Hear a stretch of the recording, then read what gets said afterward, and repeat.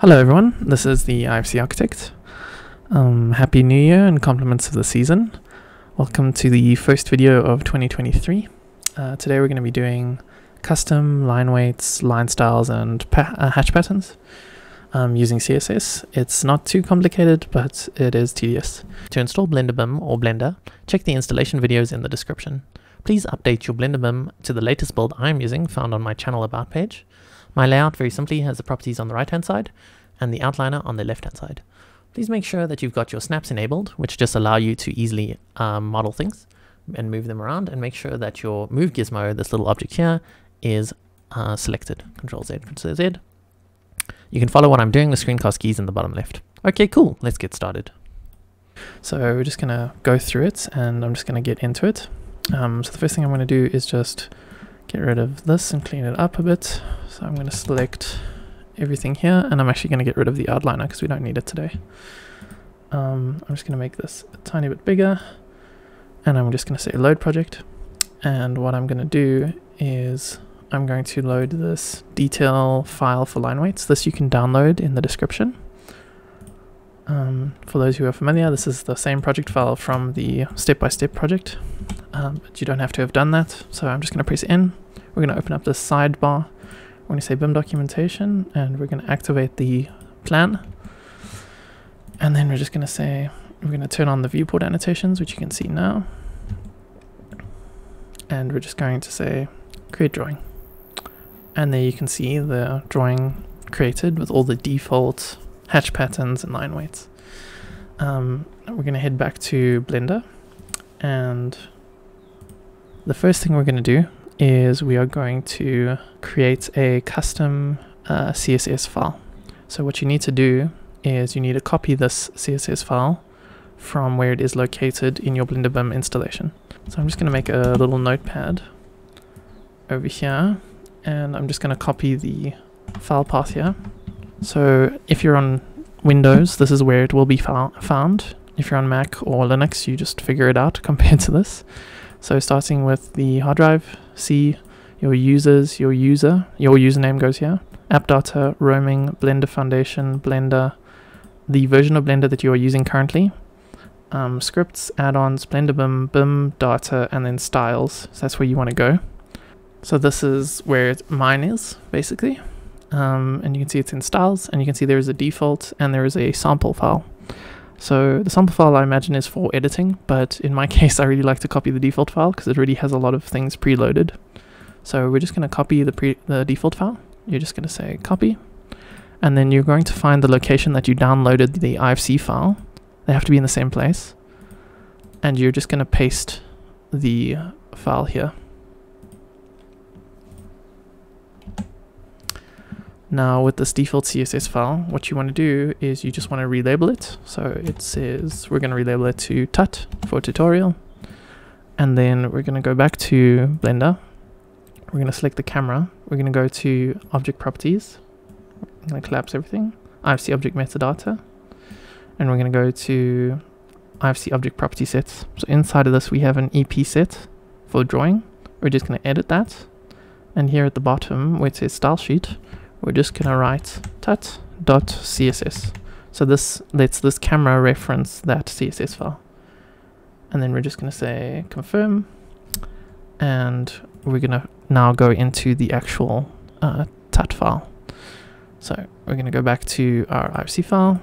We're gonna click on the tut and we're just gonna right click and say open with. I'm just gonna use notepad because it's the simplest.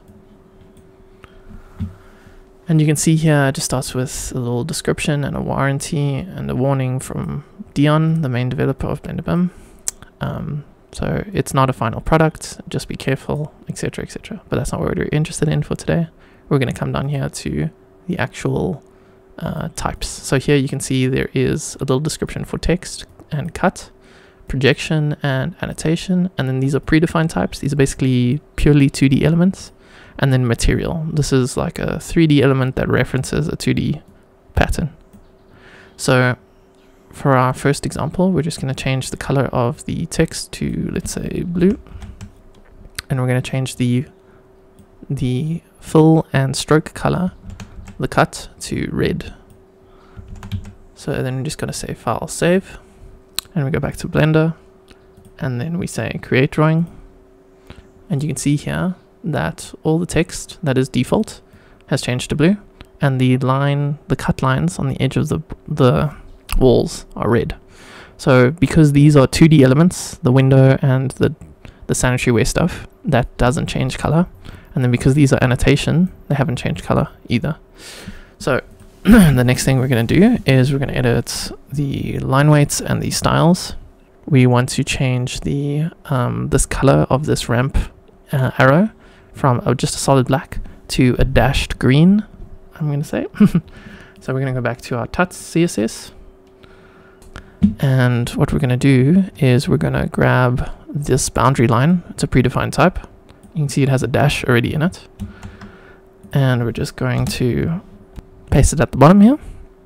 And then we're going to change the name for this thing to green. And we want the stroke to be green lowercase and we want the stroke width to be 2 and then I think we'll just make the dash array half the size. So 6 to 1.5 uh, 2 1.5 again and 2 again. So then we're just going to say file save and then we're going to go to blender. And then I'm just going to hide these elements so it's easier to select this line. I'm going to select it. You can see it's selected because it says line work here. I'm going to close object property sets and we're going to go to attributes. I'm going to say edit and here where it says object type, you want this to just be whatever you label the predefined type. So we labeled it green and say save attributes and then we're just going to say create drawing and you can see we have a nice super thick dashed green line um, it's not beautiful, but this is just for example. So the next thing we're going to do is edit a hatch pattern. So we want to change this red brick hatch pattern to a finer uh, pattern and we want it to actually be red instead of black. So what we need to do is to go to the template folder. It's near the style folder. So I'm going to go here in styles. We just go back to data and over here is templates. So you can see this has title blocks, markers, patterns, symbols, and view title. We're going to go through all of these, um, except for title blocks. It'll be for a different video. So we're going to start with patterns, which are hatch patterns. I'm going to right click and I'm just going to say open with notepad. Then I'm going to make this full size. And you can see each pattern here starts with a label. It's got a width, it's got a height. This is a rotation. And then this is the actual spacing of the pattern. So something like steel, which is just a few lines, is quite simple. But something like, uh, let's say, sand, which is a bunch of dots, gets a bit complicated. But yeah. So what we want to do is, um, and you can just copy it, it's going to be in the description below, is we're going to paste in our own red brick pattern. So you can see here, each pattern is just broken by this little pattern and pattern over here. So I'm just going to copy and paste something like this. Copy it. And then press enter just before the SVG. And I'm just going to say paste. And you can see here, I've just labeled it red brick. Its width is 2 and its height is 2. So this is just one less than the, the default brick pattern. And I've just relabeled the stroke red. So then we're just going to say file save. And that changes every Blender file for this version of Blender BIM.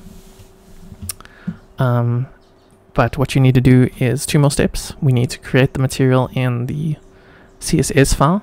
So we have to go back to tuts. And we're just going to copy, this is going to be a material now. So we're just going to copy the brick one, copy, go to the end, press V, and then we're just going to relabel this as red brick and red brick. And then we can just say save. And now we need to go into blender. And we need to select the wall and we need to go to object properties. IFC object metadata. IFC object material. And here where it says brick which we've labeled previously we're just going to call it red brick. And then uh, because all of these walls share the same material these big walls they're going to be the same. So I'm just going to say create drawing. And you can see the hatch pattern has become finer and now it's red. And you can see these smaller walls because they have a different material um, are still the old uh, brick hatch pattern. So we're going to change those as well. Go back to Blender, select the smaller wall, not the bathroom. And then we're going to go back to where we were, enable editing, and just label this red brick as well. And then when we say create drawing, you can see that's changed. So that's creating a custom hatch pattern, and you can do this with anything. You can rotate the earth pattern, you can do anything. It's a lot easier than editing patterns in Revit, for instance, without like extra add-ons and stuff. Um, okay, so the next thing we want to do is edit some markers. So we're going to edit the size of the tick over here. I'm just going to make it roughly half the size. Um, so we're going to go back to our templates file. And here where it says markers, we're going to right click, we're going to say open with notepad. And then I'm just going to make this full size. And then we just want to scroll down until we see dimension marker start and dimension marker end. So I'm just going to paste this in, but basically what I'm doing is I'm just taking all these values, the 30, the 20, the 10, 15, all of it, and I'm just making it half the value. Um, so it's half the size. So I'm just going to copy it in, and again, you can just copy this from the description as well. So I'm just going to copy from here until where it says marker, basically. And there you can see it's 15, 10.5, 5, 7.5, all the values are half. So then we just say file, save. And then for this, we don't have to edit anything else. We come back to Blender and we can just say create drawing. And then you can see that these tick marks are half the size. So there's the previous one and here's the new one. Just makes it a bit more legible if you ask me. All right, next thing we're going to do is edit a section symbol, these arrowheads, which I don't really like because they're like Revit arrowheads. I know this is standard in a lot of countries, but I just prefer a normal arrow, just a plain arrow. So what we need to do is go back to our templates, and then here where it says symbols, we're going to right click, we're going to say open with notepad, make this full size, and these are the two things we want to edit, the section arrow and the section tag. So essentially I want to get rid of the section tag. So I'm going to make all of these values zero, and then the section arrow, I'm just going to make a tighter arrow. So I'm just going to copy these through.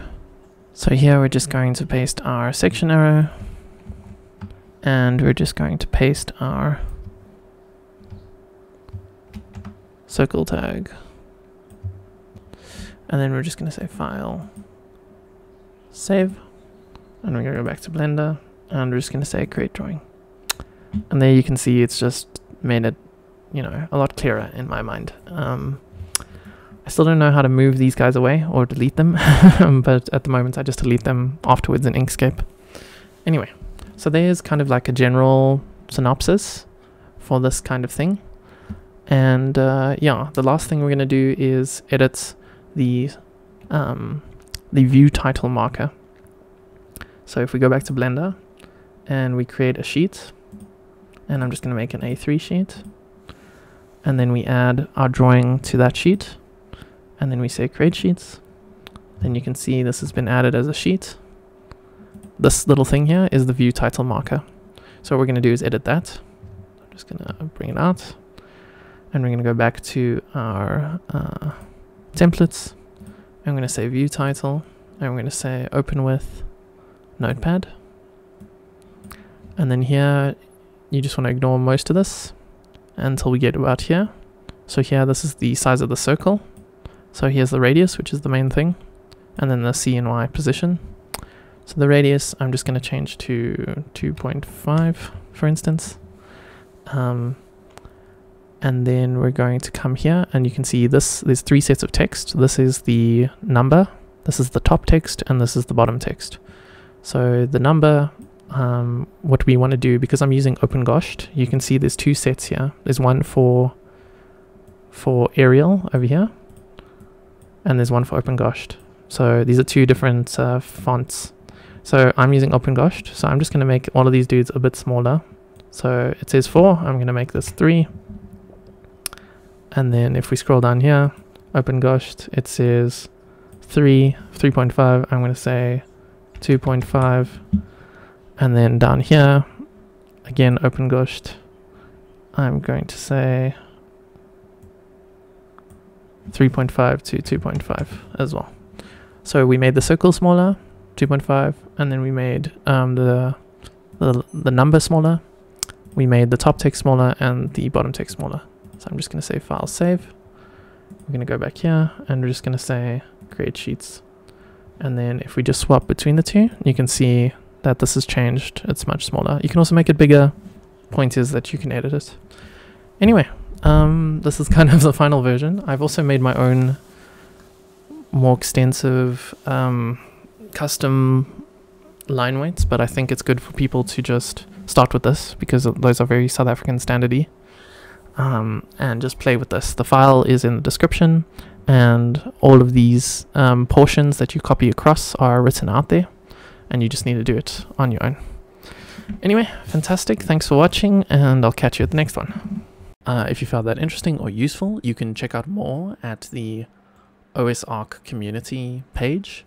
This was made using Blender, the Blender BIM add-on, which is powered by the IFC OpenShell, and the community that we're involved in is the OSArch community. I will provide links in the description, and you can check other videos to follow along. Thanks for watching. Bye bye.